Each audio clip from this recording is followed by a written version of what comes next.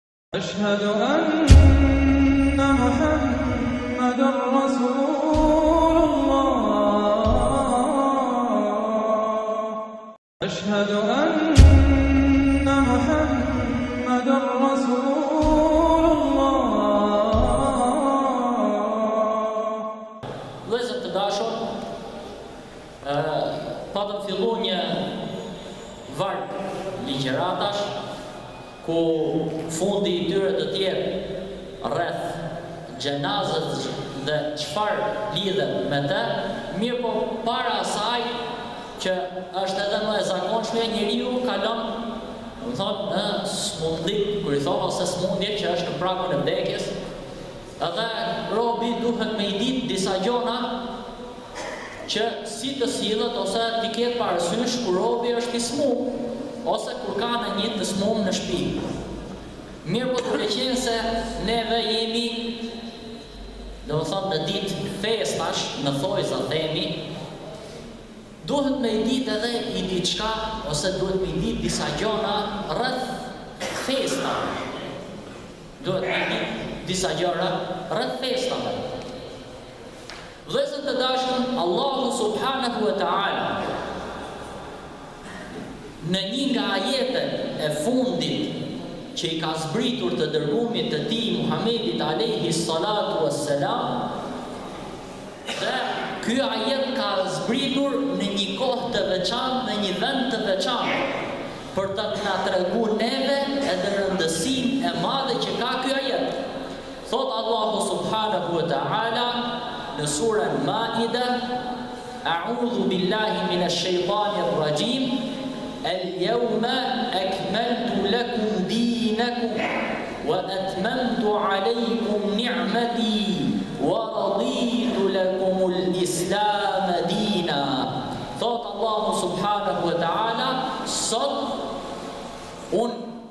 Jua plotësova juve fenë tuaj, jua përmbusha mirësitë, wa raditu lekumul islame dina, dhe jua kam pranu juve Islamin për fe.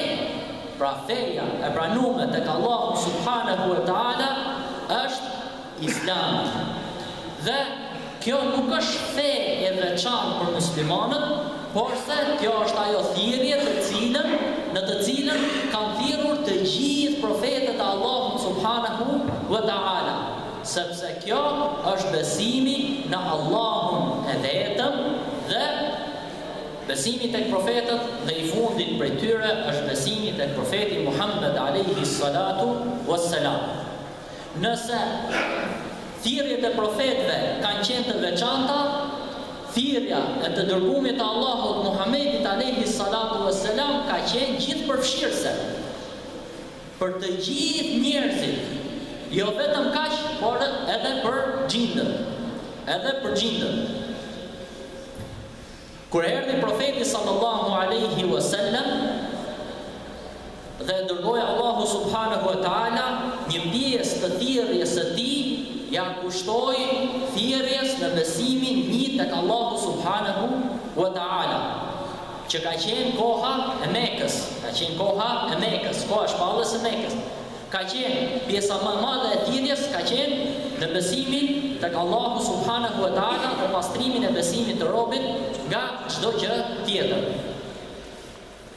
Erdhi i dashmi jonë sallallahu alejhi ve sellem jo vetëm duke i mësuar njerëzve fenë e tyne të pastër, rrugën e Allahut subhanehu ve teala, por erdhi dhe duke e ngritur, duke ndërtuar personalitetin e muslimanit.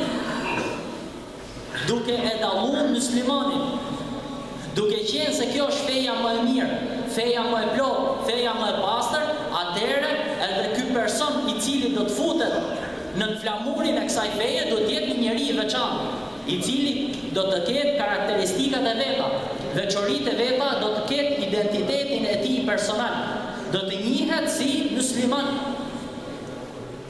si. Një njeri i cili beson dhe i përkushtohet vetëm Allahut subhanehu we teala dhe nuk ka emërtim tjetër, Huwa semmakumul muslimin, Ai ju ka quajtur juve muslimanë. Pra, erdhi Profeti sallallahu alejhi we sellem dhe filloi duke ndërtu personalitetin e muslimanit, personalitetin e muslimanit.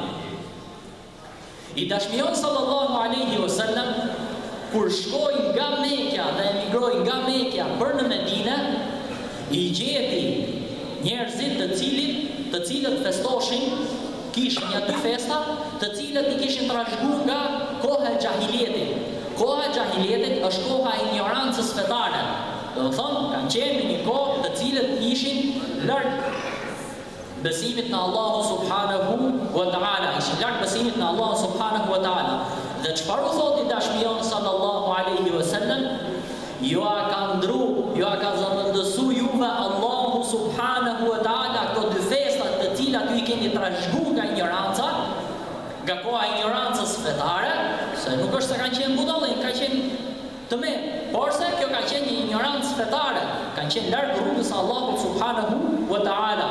Thotë ju, Profeti sallallahu alejhi ue selem, Jua ka ndryshu juve, jua ka ndrru, Allahu, dhe zëvendësu me dy festa të cilat janë më të mira. Dhe kush janë këto dy festa të mëdhaja të myslimanëve? Këto janë. Fitër Bajrami, i cili është gëzimi dhe bajrami, festa të cilën e festojnë muslimanët pasi mbarojnë muajin e madhnueshëm të Ramazanit, dhe festa tjetër e dytë është Kurban Bajrami, i cili përkon me ditët e Haxhit. Këto janë dy festat e mëdhaja që Allahu subhanehu ve teala jua zëvendësoi ato muslimanëve. Duhet me ditë dhe një diçka tjetër vëllezër të dashur, se i dashmi jonë sallallahu alejhi wa sallam kur ka ardhur, nuk i ka cënu traditat dhe zakonet e Mekës ose të Medinës, zakonet që ka gjetur aty, as myslimanët kur kanë shku dhe kanë përhap fenë, Fenë e Allahut subhanahu wa ta'ala nuk i kanë cënu zakonet dhe traditat e një populli, vetëm nëse këto zakona dhe këto tradita bien ndesh me sheriatin e Allahut subhanahu wa ta'ala. Nëse këto zakone bin ndesh me legjislacionin që ka sjellë Allahu subhanahu wa ta'ala, me fenë e Allahut, atëherë këto janë shfuqizu, nuk është marrë për Për nuk është marrë parasysh ky zakon ose kjo traditë, sepse feja e Allahut është përparësore ndaj çdo gjëje. Feja e Allahut është përparësore ndaj çdo gjëje. Mirëpo, ana e përgjithshme është që nuk janë cënu. Çdo vend ka zakonat e veta, ka traditat e veta, ka veshjet e veta. Ne kemi këtë veshje, një zonë tjetër ka një veshje që njihen me të nuk është problem përderisa mbulohet aureti i njeriut në mënyrë të pranueshme. Pra nuk janë cënu zakonet dhe traditat, vetëm nëse këto zakone këto tradita thamë bien ndesh me legjislacionin e Allahut subhanehu we teala. Erdhi Profeti sallallahu alejhi ue selem dhe duke formu personalitetin e muslimanit dhe duke e ngritur lart filloi dhe ta veçonte këtë personalitet që ky personalitet të identifikohet nën flamurin e fesë së Allahut subhanehu ve teala prandaj e gjejmë të dashmin tonë sallallahu alejhi ue selem në shumë hadithe thotë Khaliful Mushrikin, Dallohuni ose kundërshtojini idhujtarët, kundërshtojini ata, mos jini si ata, dallohuni, zgjateni mjekrën, shkurtojini mustaqet, mos u bëni si zjarrputistët. Ose në raste të tjera, ndryshojini këtë, pse, sepse këtë gjë e bëjnë hebrenjtë, bëjini këtë gjë ndryshe, pse, sepse këtë gjë e bëjnë të krishterët. Si e si që të dallohet personaliteti i myslimanit.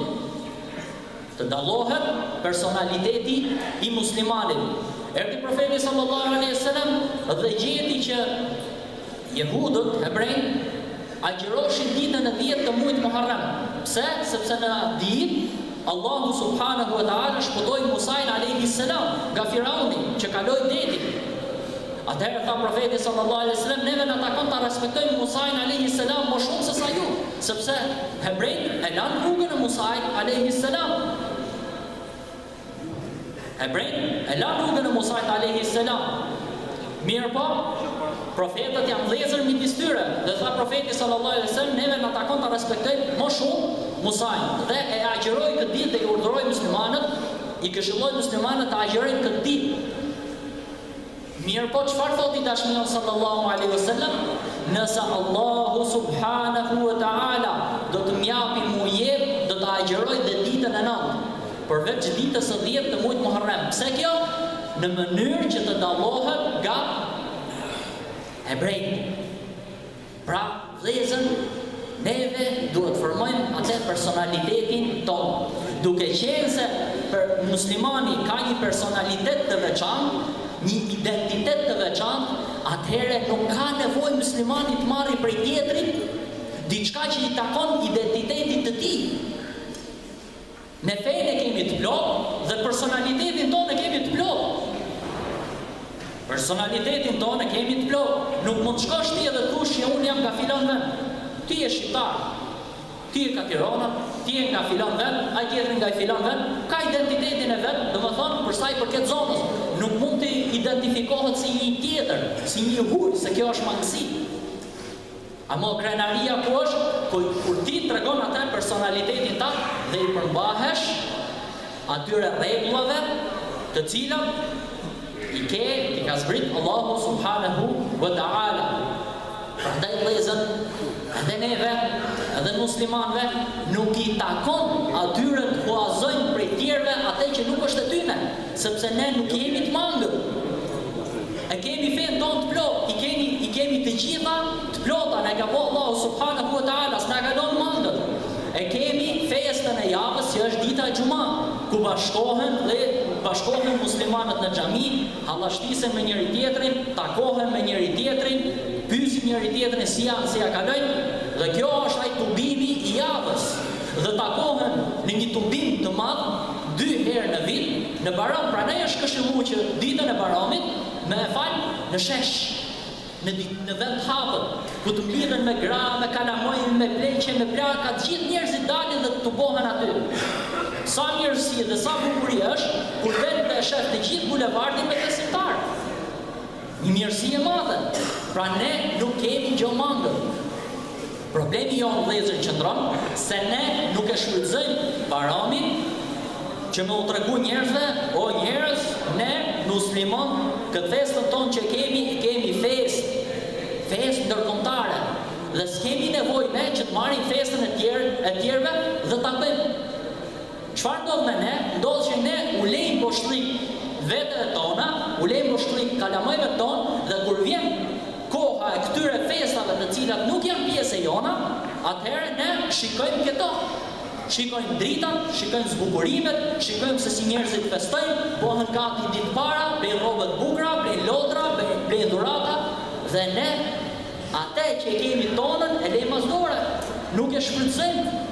Përkundrazi vëllezër t'u tregojmë njerëzve se ne jemi në festë, jemi në Bajram, bëjmë tekbir, i bëjmë vizita njëri tjetrit, i bëjmë dhurata kalamajve, i marrim i qisim te lodra, i qisim shëtitje, shkojmë këtu, shkojmë atje, tregojmë hare, takona me vëllezërit, i zbukurojmë shtëpitë tona, vishemi me rroba të bukura ashtu sikurse na ka urdhnu i Dashmi jonë Sallallahu Alejhi Wesellem. Pra s'kemi nevojë të marrim një diçka që nuk është e jona. Nëse do të themi për shembull për, për vitin e ri, ndërrimin e viteve, kjo as traditë që të thuash që kjo ka qenë traditë shqiptare, nuk është traditë e jona. Sa hajde dhe ha, diskutojmë një çik, domethënë, e fusim në rangun e ditës me e diskutu.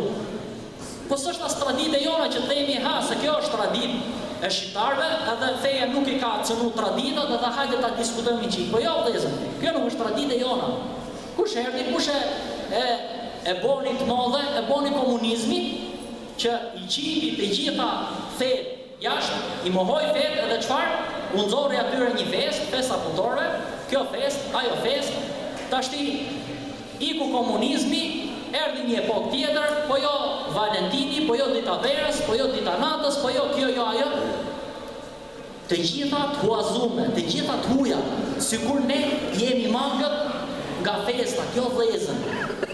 Ne kemi personalitetin tonë, ne kemi identitetin tonë. Vëllezër të dashur, duhet me u interesu për fenë tonë, me njoftë kush jemi. Nuk jemi të mangët, jemi më lartë se tjerët. Na ka nderu Allahu subhanahu wa ta'ala. Nuk ka nder më të madh se sa ti të jesh rob i Allahut subhanahu wa ta'ala. Prandaj mos të humbim, mos t'i lejmë vetes tonë boshllëk në mënyrë që ne të shikojmë te tjerët. S'kemi nevojë. Nuk kemi nevojë vllezër sepse na ka bo Allahu subhanehu ve teala të plotë nuk na ka lon neve gjo mangët prandaj vllezër duhet me reflektu duhet me me ardhë me njoft fenë e Allahut subhanehu ve teala me pyt nëse nuk dimë na i ka tregu Allahu subhanehu ve teala çdo gjë qy ke adhurimet qy ke marrëdhëniet me njëri tjetrin që marrëdhëniet që kemi me familjen Si të sillemi me të gjithë, me veten tonë, me familjen tonë, me grun, me kalamajt, me shokët, me vëllezërit, me çdo gjë, na e ka mësua Allahu subhanehu ve teala, na i ka tregu neve. Në kohë paqe, në kohë lufte janë zbrit të gjitha të gjitha dispozitat. Po atëherë, atëherë li të li ta kërkojmë neve, të mundohemi të mësojmë, të mësojmë fenë e Allahut subhanehu ve teala, ta ta, ta mësojmë një herë se kush jemi. Na ka cilësu Allahu subhanahu wa ta'ala robët e tij. Na ka thirrë Allahu subhanahu wa ta'ala në shumë ajete, o ju që keni besu, ai i drejtohet posaqërish besimtarve, na drejtohet neve që kemi ardh këtu dhe i ulemi, i përulemi Allahut subhanahu wa ta'ala. Prandaj vëllezër, duhet që ne kërkojmë pak, mundohemi, shofim një libër që flet për fenë e Allahut subhanahu wa ta'ala, kemi naj problem, një gjo, le të vim të mësojmë fenë e Allahut subhanahu wa ta'ala. Edhe në xhami, inshallah, kemi fillu një kurs Kur'ani me mësu fjalën e Allahut subhanahu wa ta'ala. Mos me i lan mangët vetes tonë, për ditë mërkurë dhe të premte, mas namazit të jacisë kemi kurs me mësu fjalën e Allahut subhanahu wa ta'ala, fjalën më të bukur. Le të nxitemi i çik vëllezër të dashur, mos i lejmë mas dore. Mos i lejmë mas dore vëllezër, se ikin ditët, kalojmë kohën. Mos me lënë fjalën e Allahut subhanahu wa taala mas dore dhe çfarë? Ne shohim gjithçka që na vjen nga të huajt, e shohim si të mirë. Kemi boshllëk në vetet tona, du mi festë, du mi çik gzime dhe hare dhe hajde të marrim këtë prej atij, hajde të marrim ne duke lënë ato që neve na i ka dhënë Allahu subhanahu wa taala.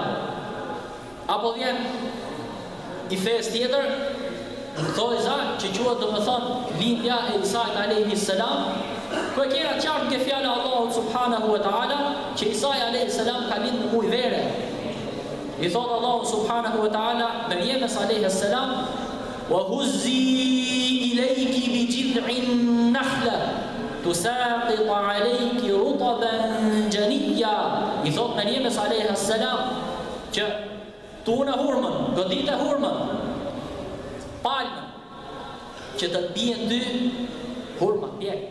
Ka qenë kohë që bëhet hurmi, hurmi i Arabisë, hurmat e Arabisë, piqen në kohën e verës, vëllezër të dashur, piqen në kohën e verës. Pra mos të hutohemi vllezër, mos të harrohemi vllezër, duhet me i ditë këto gjona, duhet me e ditë se ç'kush jemi ne, ne jemi muslimanët, besuesit dhe adhuruesit e Allahut fuqiplotë, Zoti i vetëm, krijuesi i gjithçkaje, vllezër të dashur, kemi fenë tonë, neve feja na mëson t'i respektojmë tjerët. Në asnjë mënyrë. Profeti sallallahu alejhi ve selem i ka respektu të gjithë njerëzit. Ama kemi fenë tonë. Gabimin e tjetrit s'mund ta aprovojmë, gabimin e tjetrit s'mund ta huazojmë. Pavarësisht duke u kthy që Viti i Ri i ka rrënjët në një festë pagane dhe i dashmi jonë sallallahu alejhi ve sellem na ka njoftu, do vijë koha ku do të përtërihen do të kërcejnë rreth putave dhe rreth idhujve ashtu sikurse kanë qenë më përpara dhe tashti për shembull po ringjallen disa gjëra Do me thonë me forma të ndryshme, me emra të ndryshëm, po ringjallen. Pse vëllezër? Sepse jemi duke lënë mas dore fenë Allahut subhanahu wa ta'ala. Andaj vëllezër mos na vijë ajo ditë.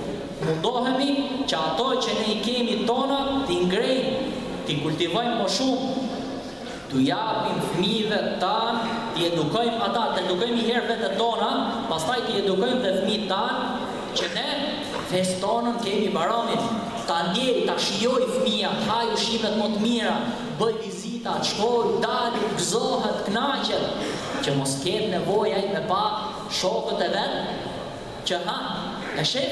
Ai ka marrë pemën e vitit të ri. Ky ka marrë këtë lodër, babi i solli atij këtë dhuratë. Edhe e ka menjën aty. Jo mor vlla. S'kemi nevojë neve për të tjerët. Allahu subhanehu ve teala na ka bërë neve të plotë. Prandaj vëllezër të dashur, t'i vejmë mend fesë Allahut subhanehu ve teala, të mundohemi të edukohemi. Janë dallu njerëzit, nuk ka problem, ky është shqiptar, ai tjetri është nga kjo vend, nga ky vend, nga Pakistani, nga India, nga Afrika, kudo me qenë. Ne kemi një gjë që na bashkon që është Islami, fjala e Allahut subhanahu wa taala dhe nuk ka dallim midis racave. Apo kjo s'do me thonë që unë vi nga Shqipëria sepse i kemi Ky dijetar e ka emrin El Hafidh El Iraqi, tjetri nga Iraku, tjetri e ka nga Damasku, Imam Buhariu nga Buhara, që është në vendet e ish ish Bashkimit Sovjetik, pra jan njoft njerëzit me kët, porse kan qenë të gjith musliman, të gjith na bashkon neve feja e Allahut subhanehu ue taala. Mirpo, e thash dhe njëherë vllezër, mundohuni, të mundohemi sa më shumë, mos huazojmë neve nga tjerët, neve duhet të përcjellim. Neve duhet me përcjell morale të larta dhe jo të marrim neve sjellje morale prej prej tjerëve. Sepse nuk kemi gjë mangët, nuk na ka lon Allahu subhanahu wa taala gjë mangët në fenë e tij.